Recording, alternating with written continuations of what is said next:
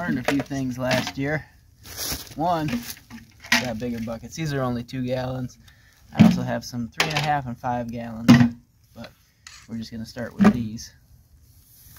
Also, you should maybe pay attention to your trees while they have the leaves on them so you know which ones are maple. Got a few other trees that I thought were maple last year that I have confirmed this year. So we're gonna tap some extra trees. Of course, it's good to have a nice big evaporator depending on how much you're doing.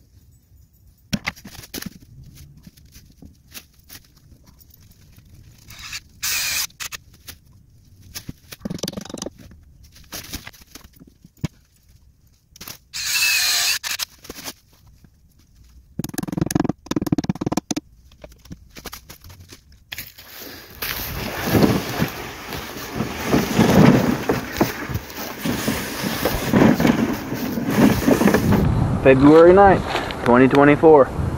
There's no snow. But that means we've got sap.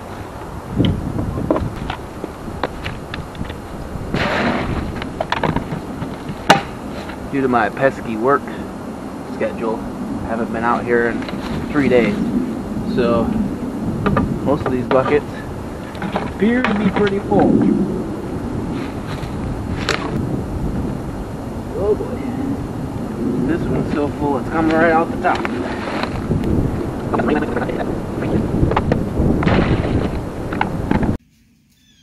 It's been warm the last couple days. Haven't been out here to check on my buckets. Yeah, she's flowing pretty good now, boys and girls. We've got rolling boils in the back, warming pan in the front,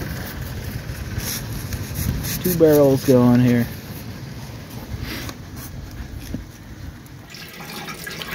So we've got our near up. Uh, it was boiling at 212 degrees or so. What we got is a giant coffee filter and a strainer, which then drips down into a cone filter in the holder. Uh, we actually have a silicone spatula that's holding up the middle of the cone. Instead of having one single point that that will drip down to and slowly filter through, this will increase the surface area of um, the very bottom part of the filter. We'll filter like this, and then we'll go ahead and boil the rest down and filter again before bottling. So the coffee filter worked pretty well.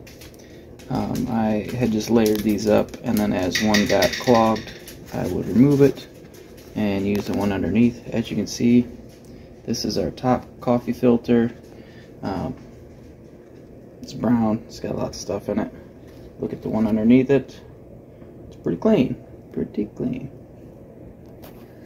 And then we look at this filter, um, very clean. These can be washed as well. The coffee filters are cheap. I will just throw those away. So the first batch I did this year had a lot of niter in it. Um, we have two pots that are near syrup, or nearup if you will, going right now. Me show you my filtering process I'm going to try this year. I've got this awesome stainless steel um, pot with a spigot on it and it's got a ball valve right here added a um, couple pieces of pipe to get that out and away from the stove. We're going to put these coffee filters in the strainer. Um, that's something that I didn't do earlier this year. It might take longer we'll see uh, going through multiple filters when I did a cold filter uh, before I threw these on the stove everything collected in this coffee filter and nothing went really into the bottom filter. So it might be safe just to do coffee filters, but we're going to super filter it uh, as long as I have the patience. We'll see how long that takes.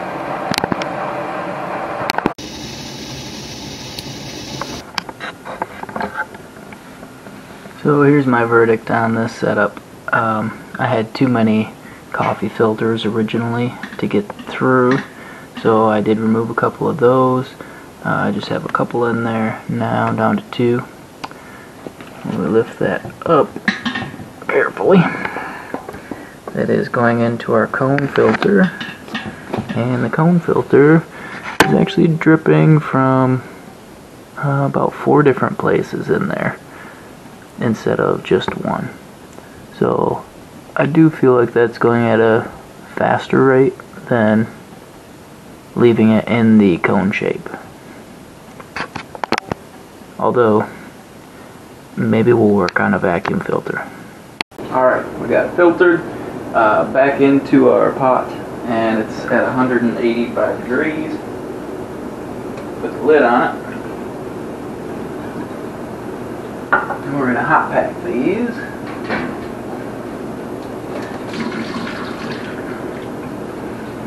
Into our jars. Okay. That's, woo.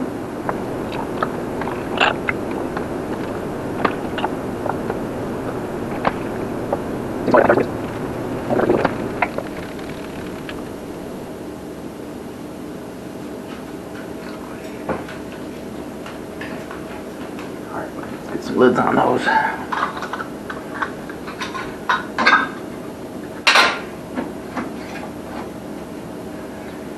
Put the lid on, flip it upside down. We'll leave it like that for about 10 minutes and then we'll flip it right side back up. This will put the temperature on these um, parts that haven't been exposed to the hot syrup yet and that helps to kill the bacteria what I learned from filtering the syrup this year. You don't have to filter unless you want to. If you're going to give this as a gift to people, they probably don't want the sediment at the bottom. This is my first batch. It does have some sugar sand in the bottom, or niter. Um, it doesn't hurt you at all, but it didn't turn out like I was hoping. I didn't filter that till the very end, and I filtered filtered it while it was hot, um, but I only filtered it once. So I tried to push all of that thick syrup at that point through these filters that I had. So what you should do instead is make it look like this. You can filter it um, when you get it close to syrup or when you're putting it into the pot for the final boil, filter it. And that takes out a lot. And then when you do filter for the final time, you get it up to temperature, you're happy with your syrup, filter a little bit at a time, pass it through pre-filters, remove the pre-filters as they get clogged, and let the rest drain through the next pre-filter into your final filter. When that gets clogged, remove that one, and just repeat the process. It doesn't benefit you at all to put a lot of your syrup into your filter you want to keep it as hot as possible and just drain a little bit at a time.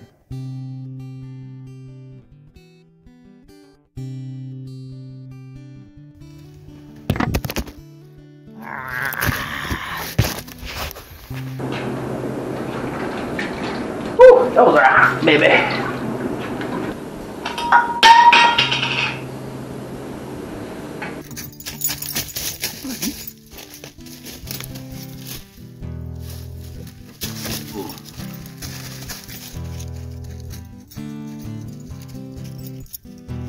I didn't learn that much last year. It's a lot of fun though.